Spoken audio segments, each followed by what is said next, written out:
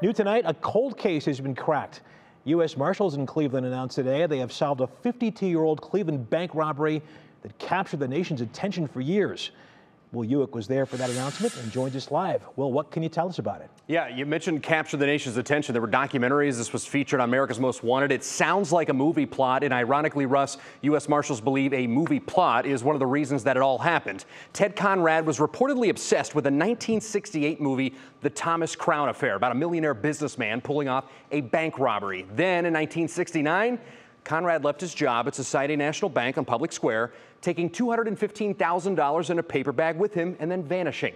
After more than 50 years, the U.S. Marshals finally tracked down Conrad, who was living in Massachusetts under the name Thomas Randele, only to find that he died in May of this year from lung cancer. Now, they don't believe he ever did anything like this again, and instead was married in 82, had a daughter, and took up a pretty uneventful life near where that movie was actually filmed.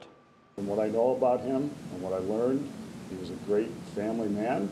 He was friends with the police in those areas.